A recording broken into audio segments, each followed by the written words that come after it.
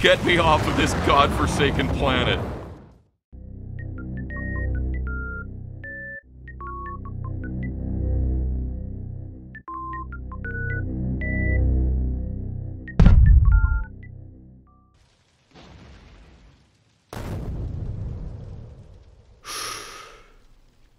Damn it.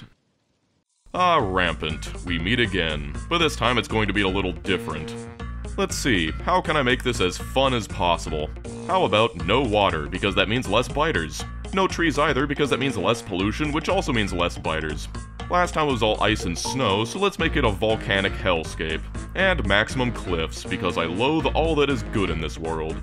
So that's a start, but it lacks the complexity to convince me that this is really hell. There. Now it's hell.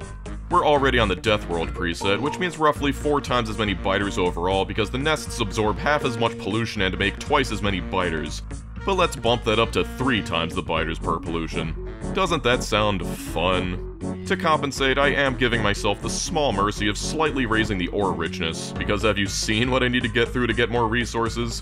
I have a feeling I'm going to be sitting on my starting patches for quite a while. Alright, now comes the process of swapping seeds until I find a map that actually looks possible with these insane presets. Believe me, half these maps are straight up unwinnable, and I'm not going to play for 10 minutes just to find that out. Eh, good enough. Now you may have noticed that things are a little dark, and that's because I'm using a Clockwork mod for Permanent Night with maximum darkness. Also, I've turned off my minimap, but here we are. So one issue is, I turned off trees so I can't make power poles out of the wood. You start with one wood, so it's technically possible, but... hey, if I did this using a mod, no one would complain. Let's just say that during the crash, I was able to steer next to the only pool of water around. What's that? How are there trees without any sunlight? Uh, shut up! Finally, I can start the actual run. Thanks to the Alien Biomes mod and the volcanic terrain, there's rocks frickin' everywhere. They'll be a pain later, but right now they're actually a valuable asset. I'm mostly after the huge rocks because they contain coal as well as stone. I can use the stone to make the furnaces and the coal to fuel them as well as the burner miners.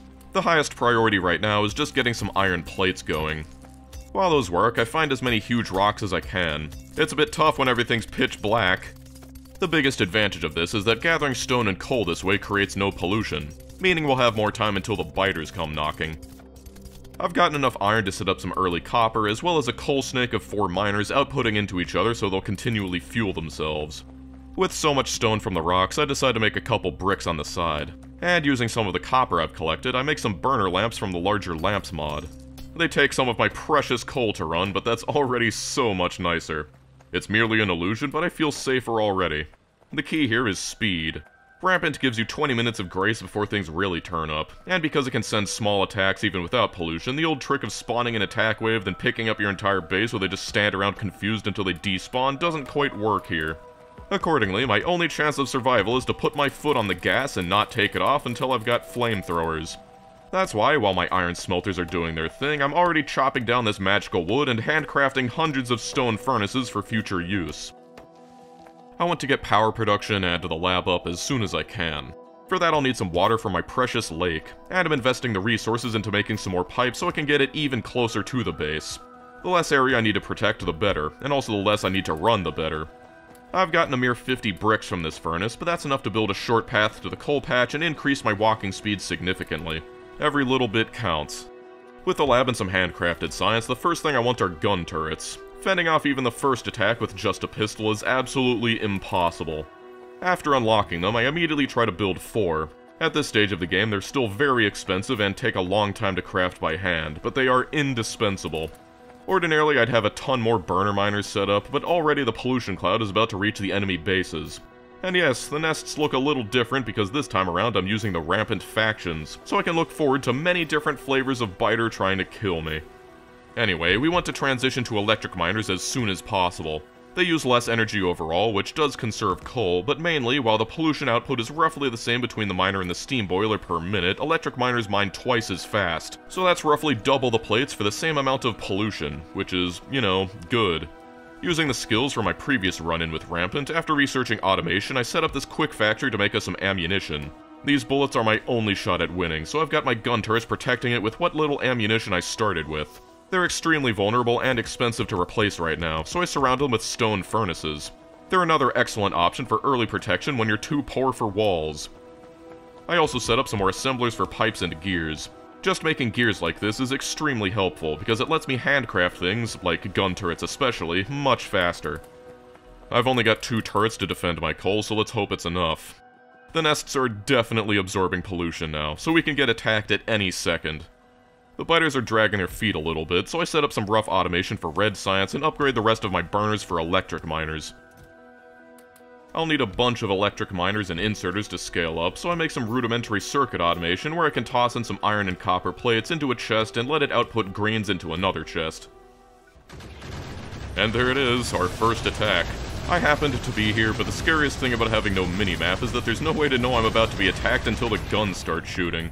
Even with my help, the biters already managed to take out one of the turrets. I've got some pipes now, which are also great as early walls, so I enshrine my turrets even more. And boy do these attacks look scary on the map. I've already got all these enemy bases encroaching upon my tiny space here. And here they are.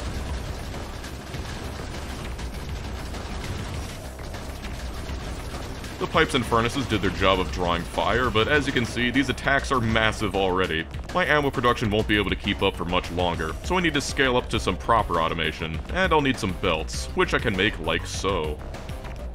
When I say scale up, what I mean is making a furnace stack. I've been handcrafting inserters this whole time to try and get one up, and it's just a matter of building it before the biters can blow it up, which I immediately fail because the moment I walk away, they start chewing on it. I don't even have any ammo, so I'm forced to run back. Alright, now to build the rest of it. And again, the moment I walk away, they start attacking it. Whatever, I can't keep replacing things, this part can stay exploded. I just need to get it up. I don't have time to automate putting coal onto the belt, so I'll put it there from some chests. With a couple more miners, the stack can start producing iron, which I'll immediately want to turn into ammunition. That's one half of what I need for defense, but to actually shoot the bullets I need gun turrets, and those take copper plates, so I'll need to build a stack for copper as well. You need much less copper than iron in the early game, so I can make the stack much shorter. And while I was doing that, my coal defenses were clearly insufficient, and so they've blown up most of it. Without coal, I can't smelt anything, so it's a high priority rebuild, but then my copper defenses are under attack.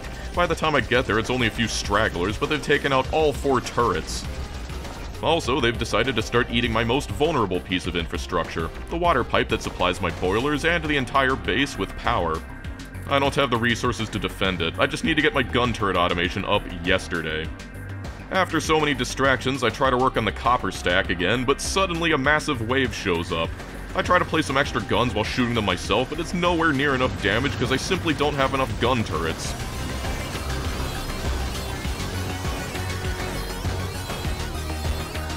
I die, and now they've got free reign to eat all of my precious work. Somehow I managed to fend them off after respawning, but the damage is done. I don't have the time to repair it, I just need to put down as many turrets as I can spare and try to get these things running again. These constant attacks are so difficult to deal with. Even with my base as small as it is, it never feels like I can move fast enough to avert disaster in time. The lack of a minimap really doesn't help either. Still trying to get that damn copper up, another massive wave takes out all four guns, and I can only retreat to the other four still by the copper mine.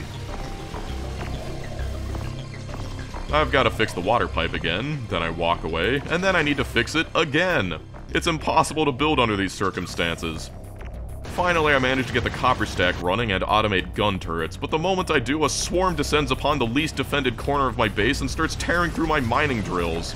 It's almost ironic, the moment I get the furnaces up and running, they take out the mines. Even my coal mine was destroyed. I have defenses automated. If I could just build up enough of a stockpile, I could recover and rebuild everything, but it's just not fast enough.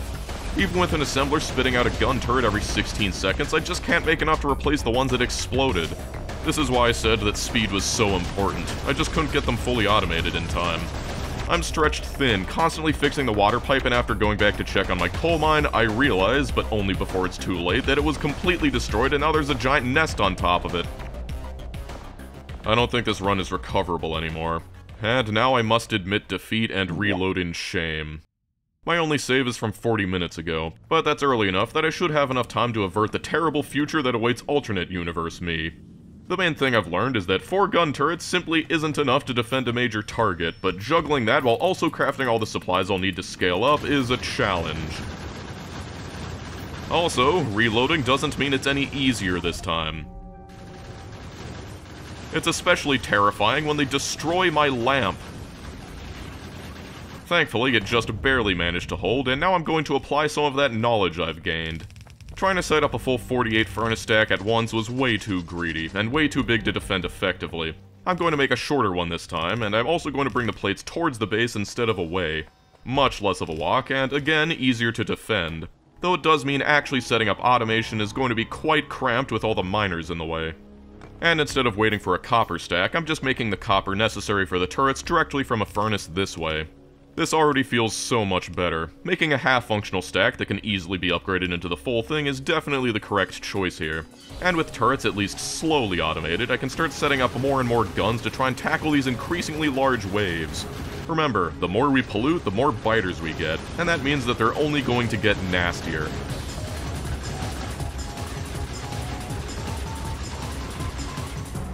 In the middle of trying to make a copper stack, I get attacked again, and you can really see the range limitations of the gun turrets.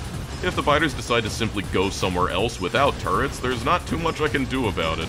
But I still need several guns just to defend one spot, so it's a constant battle between consolidating strength and maximizing coverage. Dying is becoming a very common occurrence. I don't even have any fish to eat. This time around, I'm actually keeping pace with the biters. And even though I'm getting attacked on multiple fronts at once, my base usually manages to fend them off. They blew up my water supply again, and nearby I hear some worms. I craft a flare and throw it out, and you can see how close they've already expanded to my base. I'll just need to live with it for now. Up in Colville, they've blown it up again and left a nest as a present, but it's strangely undefended, so I'm just able to gun it down and rebuild.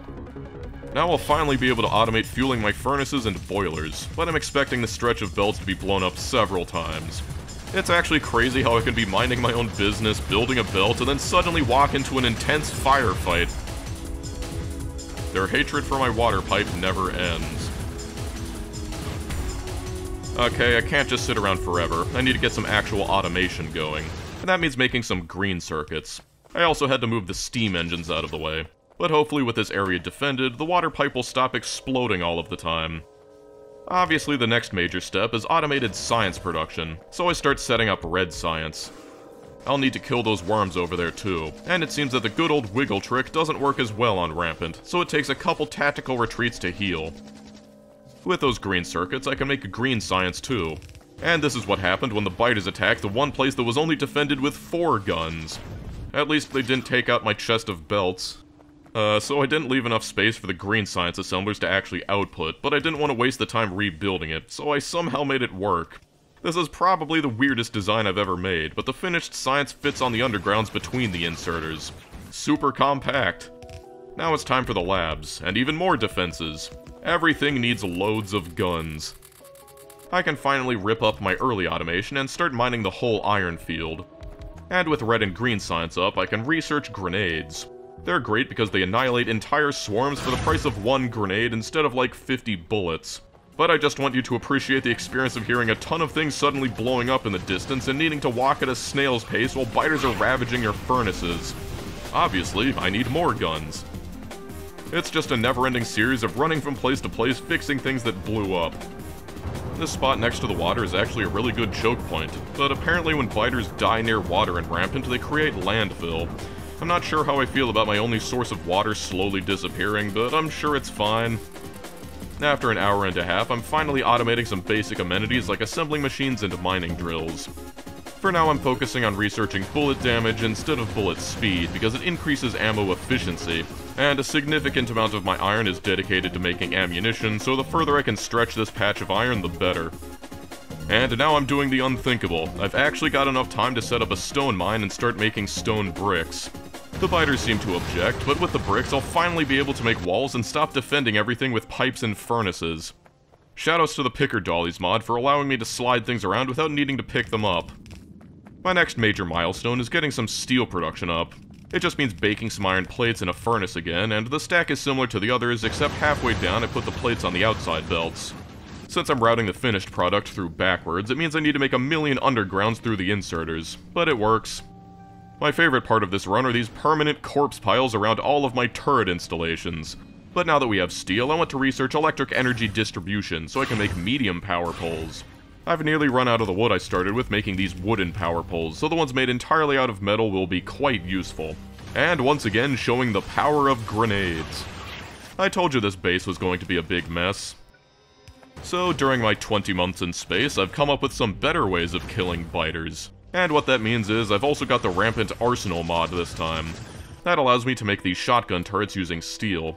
I'm actually really excited to try these, because my instincts tell me that they'll be quite useful. And that's because gun turrets guzzle ammunition like nothing else. It's a nightmare keeping all of these things loaded, since I need to do it all manually. However, shotgun shells last longer and do more damage than bullets, so again, if I'm trying to conserve resources, these shotgun turrets seem the most economical choice. Although, they can only fire in a wide arc in front of them instead of a full circle. Forgive me if it feels like I'm skipping over a lot, like expanding the steam engines or actually making the power poles. I feel like there's more pressing matters to discuss. I'm tired of running around so much, so I decided to try and make a defensive perimeter even without flamethrowers. That didn't work out for me last video, but I didn't have shotgun turrets back then either. And for all its scary exterior and interior, Rampant is actually helping me out here. That's because it's sending me tons and tons of tiny biters. It doesn't sound like a favor, but compared to vanilla, I'd be getting medium biters by now, which are nigh impervious to yellow ammunition. That means I can survive with the much cheaper stuff instead of needing to upgrade to piercing ammo ASAP. However, just because I'll be surrounded by a wall and turrets doesn't mean I can rest easy. Not at all. But it seems the shotgun turrets are able to fend for themselves. They're especially great because they can strike multiple enemies with one shot. It might be obvious, but the advantage of surrounding things with a wall like this is I'll be able to build new parts of my base without needing to slap down another 10 turrets every 5 feet. If I tried doing this with gun turrets, the belt of ammunition physically couldn't move fast enough to keep everything supplied, because each turret only automatically stocks to 10 magazines with inserters, which will run out after only 10 seconds of firing, or 4 seconds if you have max level firing speed research. I've got my many grievances with the vanilla gun turrets, but hopefully these shotguns will keep me safe. You can already see the carnage piled up against the walls. It's beautiful. So many rocks. So many rocks. I don't want to go overboard with my walls, because not only is it more resources to build, but it's also more area that I'll need to run across in order to rebuild the walls when they inevitably explode. And so I'm just building this little jutted out section around the coal mine. This should be enough space for me to at least stabilize until I feel comfortable enough taking out the massive nests. The final step is to make the ammo belt circular, so it goes around and around carrying shells. Maybe this will finally give me some peace and quiet. Unlikely. The corners seem to get hammered especially hard, so I add even more turrets. There's just something about listening to dozens of shotguns going off that's deeply satisfying to the soul. It's an absolute bloodbath out here. The walls explode constantly, but as long as I occasionally run by to replace them, the turrets seem to be holding steady. Now I can finally do things like automate inserters and belts. Normally this is the kind of stuff that I get done 20 minutes into the game, not 3 hours. I'll also need to add some more power production, which means more pollution, but we can handle it right now. I said I was going to stick with yellow ammo, but I will need piercing magazines for military science, and it's nice to have some on hand, even if it's just for my personal machine gun. However, I have a specific use in mind. It might seem like I'm safe in here, but the biters are starting to evolve, and the average swarm will punch through both walls before the turrets can stop them. I've got to keep getting stronger, but I've pretty much reached the limit of what I can do in this tiny box. That's why I've got to get oil. My base is totally a mess, but it's a functional mess, and I use it to make some engine units. I'll need them to make blue science, but most importantly, I'll need them to make flamethrower turrets, which I've already researched with some handcrafted military science. Only problem, the oil field nearby is covered with biters, but I've got some tricks up my sleeve, and that's these mobile chain gunners from the AAI Vehicles mods. Basically, it's a gun turret on wheels, and it's a great use for all that red ammo we've got. But here we go.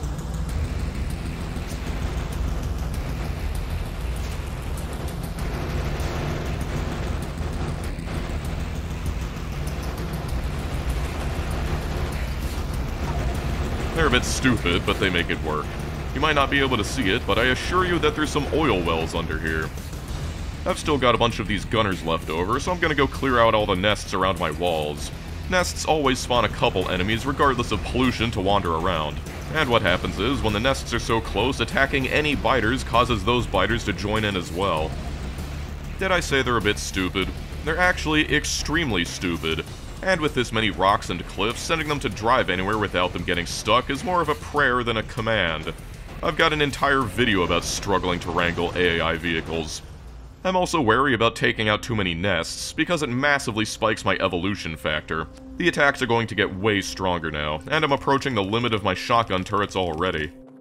I need that oil up as fast as I can, but the thing about Rampant is, is that the biters will destroy anything they come across, so the power poles necessary to turn on these pump jacks, as well as the pipe to take the oil back to my base, will constantly explode. I've got my chain gunners defending it for now, but it's not a permanent solution. To actually make it work, I'll need to build this big tube to reach it. With my pump jacks running, I'm able to start fueling some flamethrower turrets at least around the field. This oil pipe is quickly going to become the lifeline of my entire base, so I've got to make sure it's well defended. Flamethrowers are absurdly powerful, but their only weakness is that they can't fire directly in front of them and they have a bit of a delay, so a single biter that makes it in could wreak havoc. That's why I'm adding all these shotgun turrets as well. Really, getting flamethrowers around my base can't come soon enough. As expected, killing those nests really kicked up the attacks. Forget repairing, replacing entire sections of wall has become the norm. I'm not sure this base could survive another evolution, but flamethrowers are here, and so I waste no time setting them up around the perimeter. Yeah, they'll still occasionally eat through my walls, but at least they'll get roasted doing it. I've also got these searchlights from another mod to help me see biters in the dark. You're supposed to use them to buff your turrets, but I've set them to only provide light, because that's all I really need. Personally, I love the aesthetic. Also, it seems the biters have mutated into one of the factions. I've got acid biters now. I'm not sure what they do that's special, but they seem to die just fine. Anyway, I've bought myself some time, so I need to hurry up and start setting up oil refining. My only oil source is an absolutely pathetic three wells, and I'm going to end up spewing half of it at biters via flamethrower, so I'm going to be restricted to a tiny trickle of oil available to actually use. But as usual, I set it up for advanced refining ahead of time and extract some of that precious petroleum gas. First things first, I'll turn it into sulfur. Combined with the engines I've already made, we're two-thirds finished with chemical science already. Here's some random green circuits. It's always fun seeing the new and interesting ways pure desperation forces you to build. To make plastic, we'll need coal, and I'd like to point out something. It might seem safe in here, but this coal patch is my only source of power. I'm not sure if you've noticed, but there's not exactly a wealth of solar energy around here. And that means I have a definite time limit, which is something like 10 hours optimistically. The main use for those green circuits I made is for advanced circuits. Even a base as small as this one that's still running off the starter patch needs a good number of assemblers for them. 10 should be enough, and that gives us the final ingredient in chemical science. It's a major step forwards to finding some sustainable solution to this predicament I've found myself in. Routing it into the labs is also fun. You may have already guessed, but the first priority is advanced oil processing. Not only is it more efficient, creating more petroleum overall out of the same amount of crude, but it's also necessary for robots. It does, however, require some chemical plants to crack the unneeded heavy and light oil into petroleum. Not many, though, so it all fits into this spaghetti mess along with the lubricant. Also, there's cliffs everywhere, so explosives are a must. And if I want robots, I'll need batteries. This really shows off all 3,000 hours of my Factorio skills. Construction bots will be another major step forwards. They start with these electric engines, using some of that lube we made earlier, as well as engines and circuits. Those can immediately be turned into robot frames along with those batteries we just made, along with some more circuits and some steel. Finally, I can turn those into the finished construction bots. To actually use them, I'll need to make a bunch of roboports, which are painfully expensive for a base this crap, but it's more than worth it for the ability to get robots to automatically rebuild and repair walls. And because I expect these to die frequently, I've got a circuit that automatically adds more whenever one blows up. Now I can finally relax a bit, knowing that I don't need to constantly keep track of the walls anymore and repairing any holes myself. Oh yeah, and I've got fast biters now. They're like regular biters, except faster. Imagine that. I'm free to worry about less important things, like automating cliff explosives and military science. Well, it's not really automation, it's just two assemblers fed with boxes, but don't let anyone tell you that this isn't enough.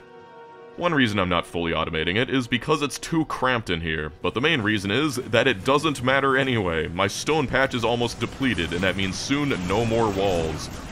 And the closest patch is all the way down here. My iron patch ain't looking too hot either. Yes, I'm safe in here for now, but in a couple more hours my iron patch will be completely dry and ammo, let alone science, will become impossible to make. I've got to work on somehow expanding to another mine, but easier said than done. Now that I've got the bots to place them, I upgrade to what's called a Dragon's Tooth design to help me defend the walls by slowing the biters down a little bit before they can reach the main wall, or at the very least distracting them with one bit of wall that will prevent too much splash damage. It'll lose me less walls overall, and make my limited stockpile last longer. Looking through some of the recipes from Rampant Arsenal, I came across something interesting. Regenerating walls. That sounds incredibly good, and so I start setting up some assemblers immediately. Turns out, they're exactly as good as they sound. I used the first few to surround my oil field, since it's been left without robot coverage, because including it would cause the bots to fly out of the base and die trying to reach it. With these, expanding is suddenly starting to sound a lot more feasible. I was originally planning on making modular armor and loading it with personal robots to build an expansion, but then I realized there's no solar power anywhere. There'd be no way to power my personal equipment except with portable reactors, and that takes 200 yellow science. Personal robots are way too good, so I've got no choice but to throw together some yellow science with a bunch of kludgy builds. Then there's something else that sounds great, and that's turning petroleum gas, plastic, and acid into napalm. I had been planning on switching to light oil for my flamethrowers, but this is a step above. It makes flamethrowers deal 150% damage, and I don't know about you, but that sounds pretty good. With that plugged in, now it's mostly waiting around for my yellow science to appear. Getting the 200 processing units necessary to build one with a base this bad is painful, but well worth it. Compared to the start of this run, I'm just hiding away in my Cuckbox 3.0 for several hours, trying to stockpile resources until I feel up to the challenge of assaulting a million nests. Making even more regenerating walls seems great, but I also want a bunch of rocket fuel for my vehicles. One of those vehicles will be a tank, and that means I'll also want a bunch of cannon shells.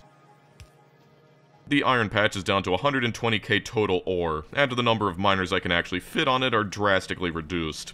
We've officially reached the point where the iron throughput is lower than the demand on plates, so this crappy little base is going to get even slower here on out. That giant patch out there beckons like the promised land. Killing this many nests is going to make them a little angry, but I've got no choice. It's time to assemble the squad, and this time, instead of trying to order them around, I'll just make them follow me in a circle. I've got flares, cliff explosives, repair capsules, grenades. Yep, I'm ready.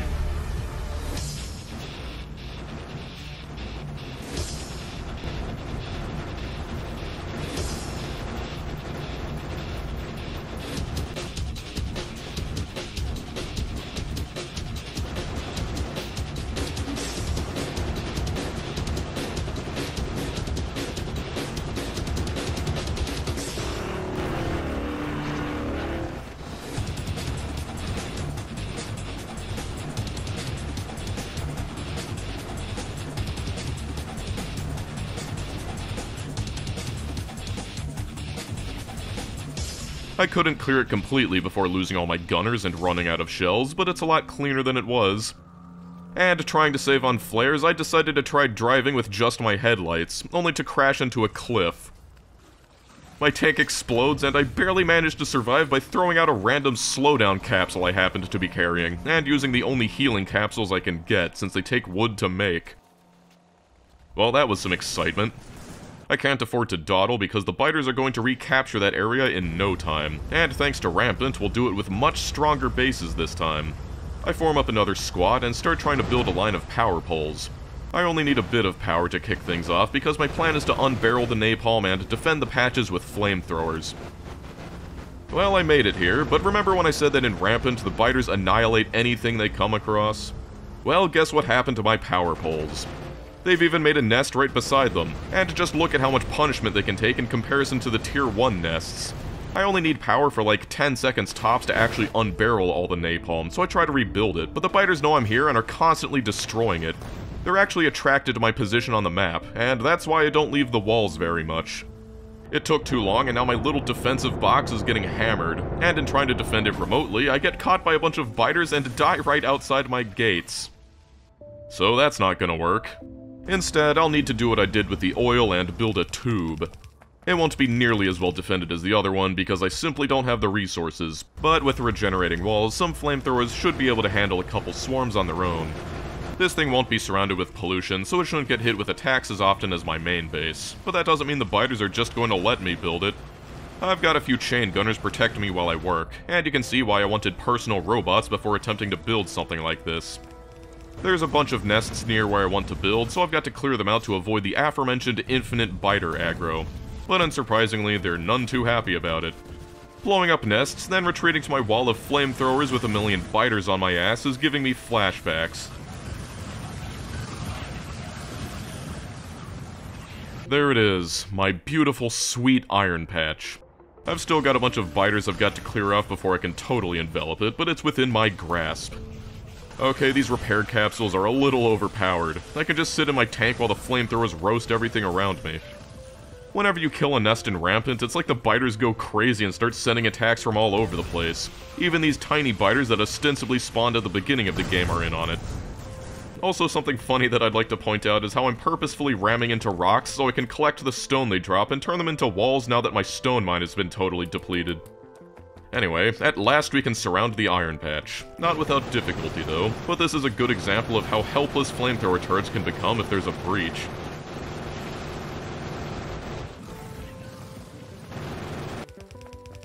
There we are, all nice and contained. Safe, mostly, from biters. Time to cover it with miners and extract that precious iron ore. To actually get it back to the base, all I can really do is run a giant belt.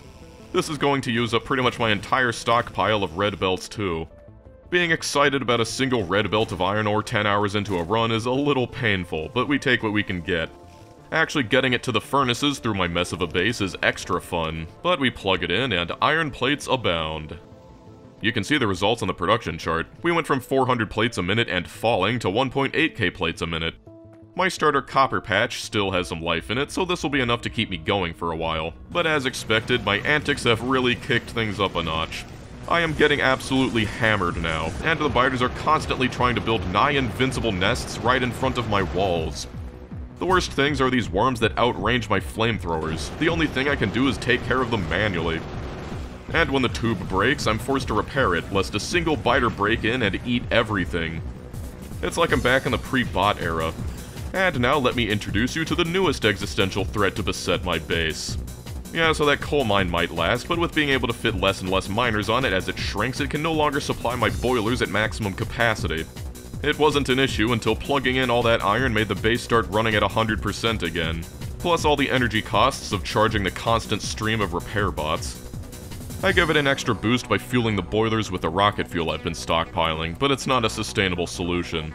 There's a fire lit under me, so immediately I start making some concrete. What's that got to do with anything? Well, centrifuges, which are painfully expensive for this base to make, but necessary. I start running a massive pipe of sulfuric acid through the tube, and I'm super lucky that this giant uranium patch just so happened to be in the path of capturing that iron mine, because now I can mine uranium also bringing it back in through the tube. But there's one problem, which is that there's no space in my base for a nuclear plant, so I've got to anger the biters even more.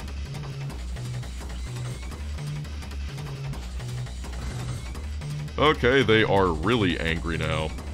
I'm starting to think that this was a mistake. Oh god, my napalm is getting consumed faster than I can create it.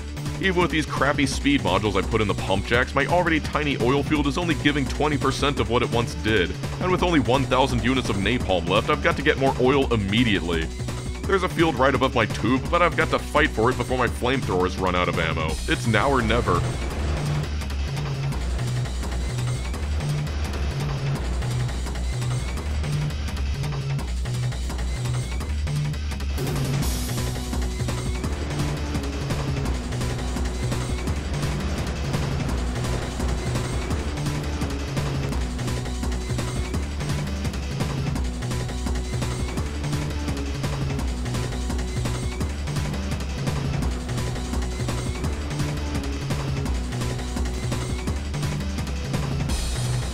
Dear lord, I was so focused on killing the nests I didn't notice all the alerts. It's all my worst fears come true.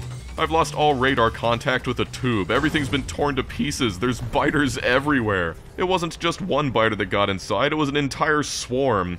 This is the result of only a second without flamethrowers. It's terrible. I am trying desperately to rebuild. I've got several walls and flamethrowers stocked up, so if I act fast enough I might just be able to salvage this. I've got some crude oil left in reserve that I can use now that the system's completely drained of napalm. It looks like this just might work. But, no, no, this is way too much. There's no way, and without my new iron mine, I won't ever be able to gather the supplies necessary to try again. Uh, it feels terrible this late in, but there's no recovering. I'm gonna need to reload. Well, at least this proves it's still a challenge. This time I'm going to just dump all the napalm and pump crude oil into the system. It does half the damage, but that's a whole lot more than zero. It's a good thing I set up my pumps to maintain 20k units of crude oil. If those tanks were empty, it's unlikely that with my oil field in the state it's in that they could even make enough to supply all the flamers. Seriously, I just want to point out that in vanilla, flamethrower ammo is never a concern. It's almost free, but Rampant Death World is magical. Once again, I've got to extend a tube into the wilderness and try to envelop it. The biters for once leave me mostly unmolested while I try to quickly set up this oil field and defend it. Ah, there we go, now it's on. But I still need to get it back to the base, and that means running more pipes. I could pump it directly into the flamethrowers, but I want to switch them back to napalm later, so it'll need its own pipe. And of course the moment I walk away, a bunch of biters break in and start eating all of them. Get out of here! Alright, we've got oil again. And just as I plug that in, the power starts fluctuating. Oh yeah, wasn't that the thing I was trying to fix in the first place?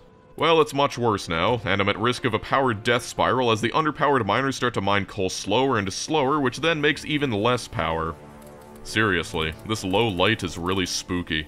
You can really feel the failure. Once again, thanks to my rocket fuel stockpile, I've got some time, but it's best that I deal with this immediately.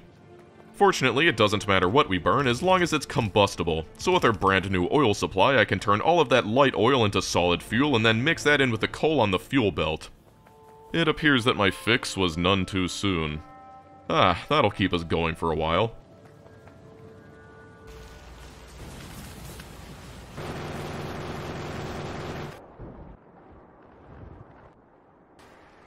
Now that my walls can repair themselves, robots flying out to try and repair them just explode for no benefit, so they've lost their repair pack privileges. They'll still replace broken walls, though. After much delay, now it's time to actually do some uranium processing. And these gigantic worms growing next to my walls are a constant problem, especially in the tube. I really wish I could defend this place with robots, but I need to make a bunch of separate networks to keep the bots from flying over biters and dying. The walls seem to be holding for now, so it's a lower priority. And in case it wasn't obvious, I've switched back to napalm. Even though I have power through burning solid fuel, I still want to switch over to nuclear power. In my absence, the biters have reclaimed much of that land I cleared, and dealing with these high-tier bases is getting harder and harder. Thankfully, I've always got a wall of fire I can retreat to. That tank must have some killer AC, because I can just park in the field of burning napalm no problem. Getting attacked is so normal, I've almost completely stopped bothering to watch them die. But now I'm finally getting to expand into that area we just cleared.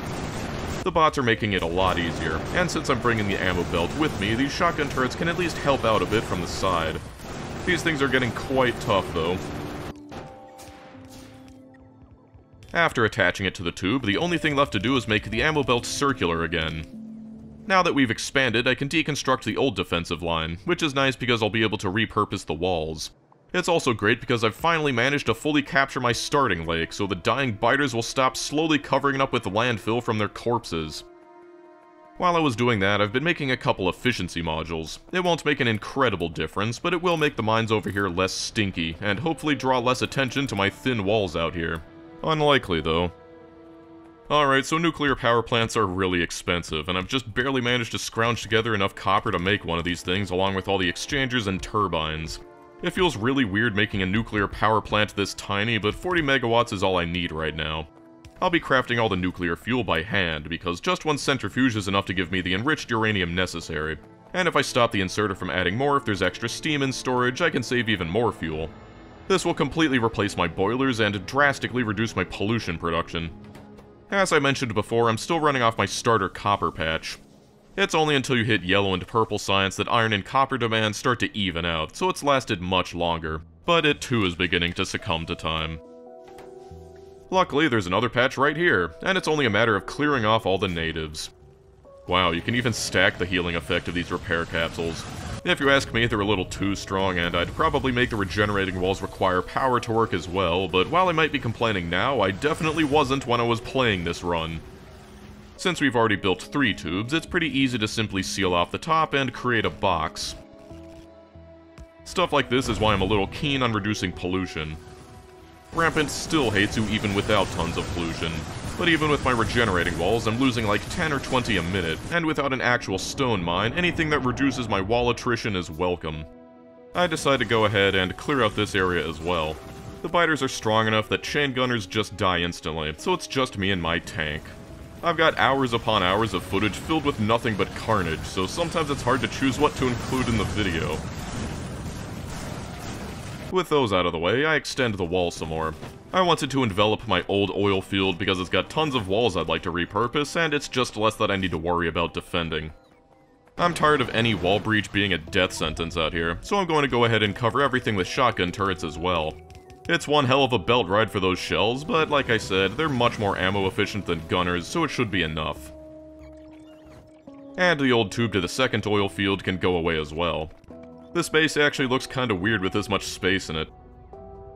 Replacing the old tube defenses with my standard shotgun defense is a long and laborious process, but at least with the old flamethrowers behind me, it's mostly safe. So long as I remember to actually close the walls.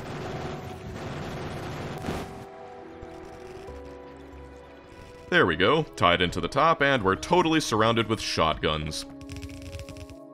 Once again, with only one wall to worry about, I can repurpose all the old defenses and at long last I can completely cover all of my defenses with robot networks. I'm barely losing any robots now, but the downside is I need to look at a million repair pack missing warnings that will never go away.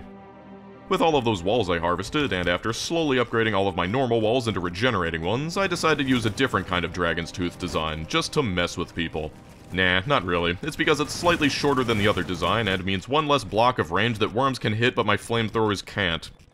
I tell ya, you really get an appreciation for the level of carnage when you're going around to the whole perimeter like this. Oh yeah, and I tore up the uranium processing, so I gotta put that back. Now I've got the space, and I've got the mines, it's time to worry about building an actual base. I'll need more power because I'm planning on using electric furnaces, so here's another power plant. It's pretty standard, and while I could barely afford the resources to make these, I've set it up so I can easily add on another two reactors when I need more power. Now about that actual base. While this might be a big iron patch, it's still only one, so I'll need to temper my ambitions a bit.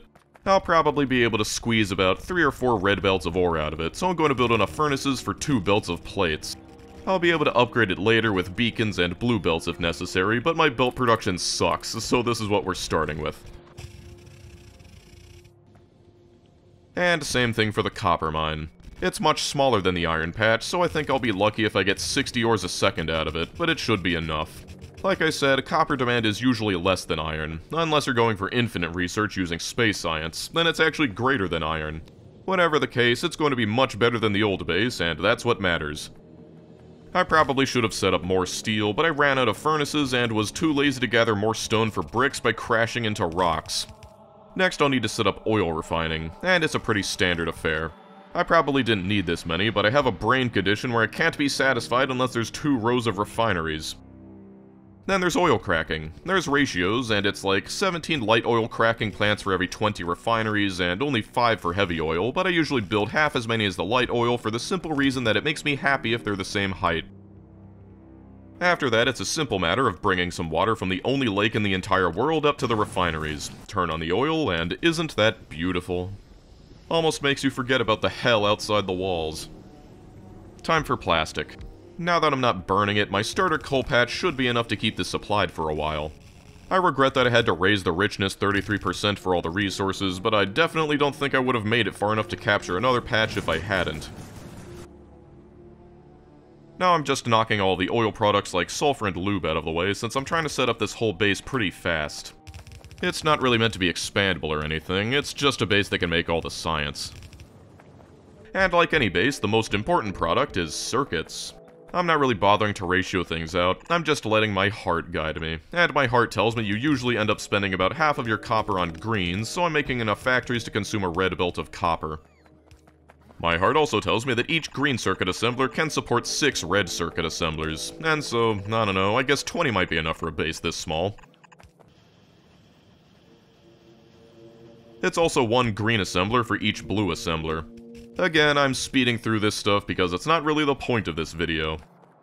With just some engine units, I can make chemical science out of the circuits and sulfur, and since it's easy, might as well shove red science in here as well.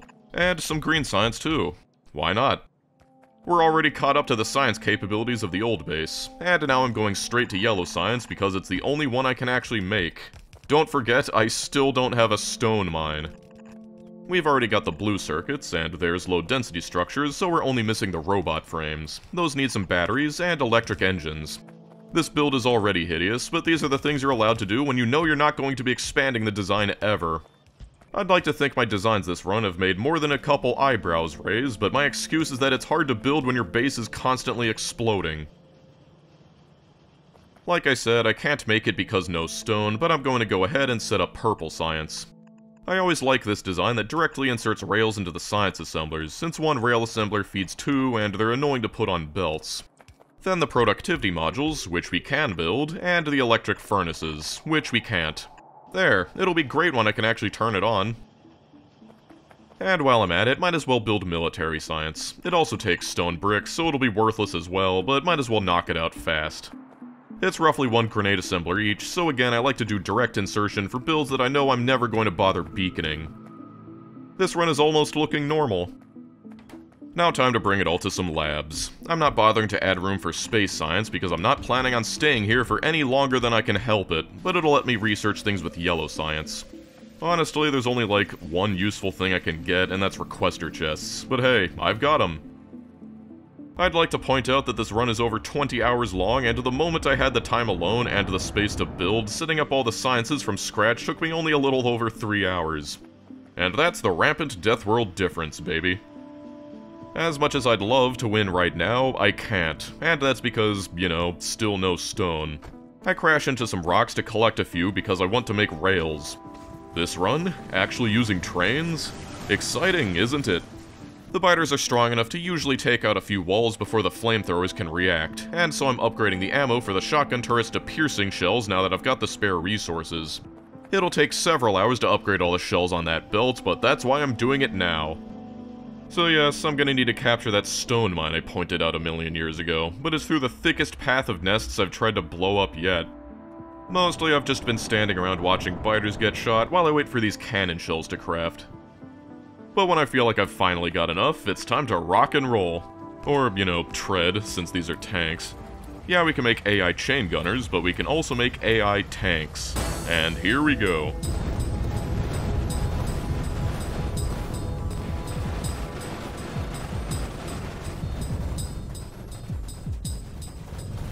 And turns out they're actually really, really bad. I didn't even make it to any of the nests I intended to kill before the AI tanks wasted all their shells shooting random biters and friendly firing each other. Also, the biters are all strangely explosive resistant. Looks like it's back to the drawing board, I guess. Fires never let me down. How about these flame tanks? Well, I need to wait another hour or so to get all the special flamethrower ammunition they take, but let's give them a shot. Okay, okay, that is much better. Alright, biters, I'm coming for that stone.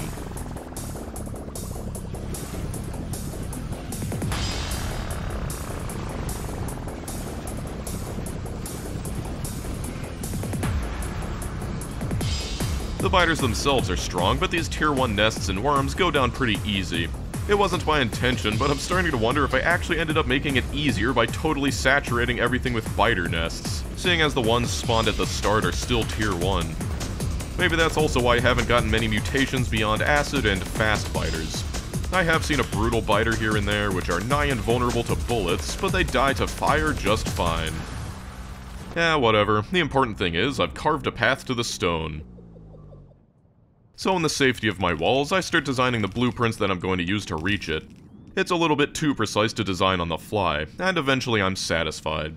There's a few more nests I've got to take out, and hey, the shotguns are using piercing ammo now.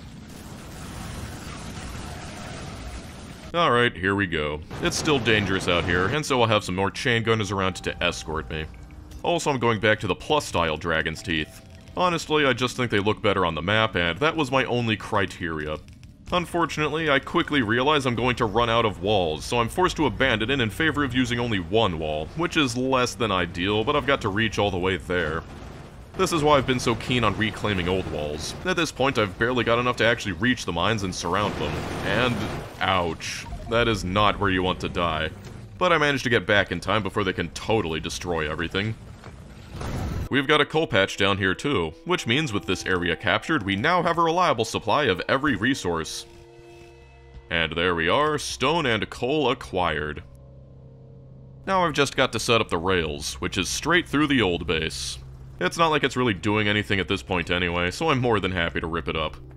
The coal just needs to be unloaded like so, but the stone will need a couple furnaces to make bricks. Now we actually make the mines, again using efficiency modules since this is so far away from the base and separated from any automatic repairs.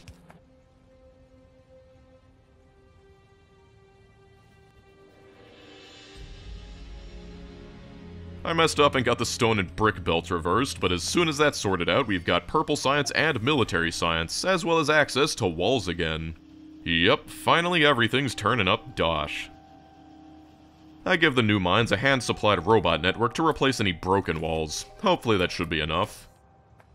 But after a while, I realize the tube's been compromised.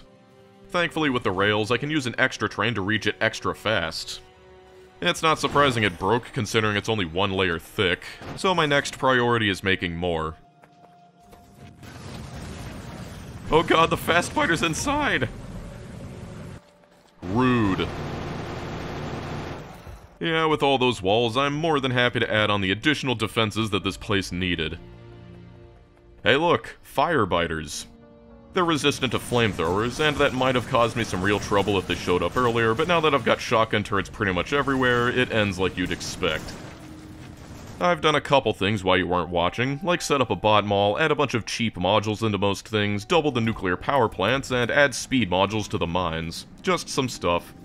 I researched artillery, and while I was expecting it to trivialize everything, as it turns out the high-tier nests are incredibly resistant to explosives, and so it takes like 5 or 6 shells to take out one.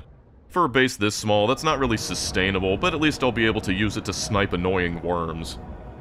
So at this point, as long as I'm determined enough, I'll be able to expand anywhere I want, and the biters, while numerous, don't have much of a chance anymore. Well, except for when I almost killed off my mining outpost by forgetting to fix the napalm pipe, but barring catastrophic user error, I'm pretty safe in here now. I considered expanding to a much larger base just to show the biters who's boss, but you know, looking around, this isn't exactly my idea of an idyllic retreat, and so I've decided to go ahead and leave, winning the game. But before I do, I see a couple technologies that catch my eye from the Rampant Arsenal mod, like Mark III power armor and nuclear tanks. I look at the equipment grid size of those things, and I'm like, that's not balanced. And then I'm like, ooh, that's not balanced. So while I'm amassing the ingredients necessary to make those, I might as well set up all the rocket ingredients. As I'm sure you all know, we need three things to make a rocket, and we've already got the low-density structures, so that leaves rocket control units and rocket fuel. They're both pretty easy to make. The RCUs just take all three types of circuits and twice as many RCU assemblers as speed module assemblers. Rocket fuel is one of the easiest recipes to craft, since you can just do an arrangement like this, and having enough light oil is rarely an issue.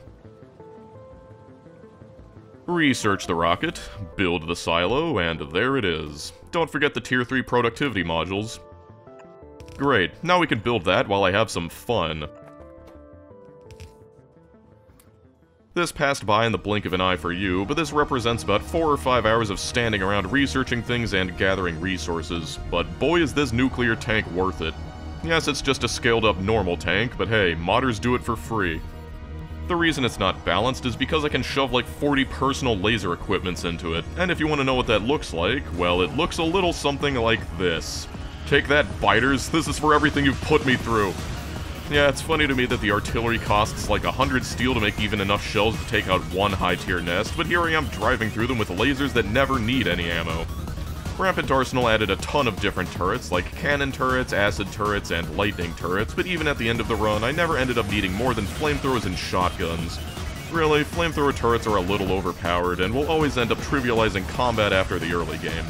This Rampant revisit was interesting. I was kind of hoping that all the different biter factions would force me to diversify defenses and build more specialty designs, but while there's biters resistant to bullets and biters resistant to fire, there's no biters resistant to both, so the same design seemed to work for everything. It is a bit unfortunate that I think the total nest coverage was actually a bad thing. I'd assumed that the nests mutated as is, but it seems one spawned at the start of the game remained tier 1 common forever. However, in spite of that, hopefully you didn't think that this run was easy. I did hear about nuclear biters that can blow holes in your walls, and I'm not sure if I should feel lucky or unlucky that I never ran into them. Unfortunately, I did need to reload a few times too, so it's not a complete victory. Apparently, if you just ram through the map fast enough, you'll get into normal biters and nests that haven't had the time to transform yet. The world is full of mysteries. The regenerating walls were definitely the MVP this run. Without them, capturing new areas would have been next to impossible, and certainly impossible without a stone mine. I especially liked the darkness.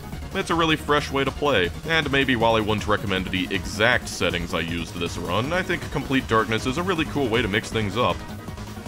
Now I'm mostly driving out here looking for new and interesting biter mutations, but I don't think I'm going to see many beyond these sapper biters. Anyway, I've been having fun taking my sweet, sweet revenge, but I think it's time to go. And what the hell? My nearly invincible tank suddenly exploded for no reason. Looking at the footage, that number is a cluster of biters, and I think all of them spawned underneath my tank and did collision damage or something. Well, I've got a rocket with my name on it. As always, I'd like to thank my patrons, who in their boundless generosity decided to throw me into the trenches this month. It's amazing that so many people give me so much to torture myself with Factorio, but I'm out of here. I'm sure wherever this rocket takes me, it couldn't possibly be any worse than here.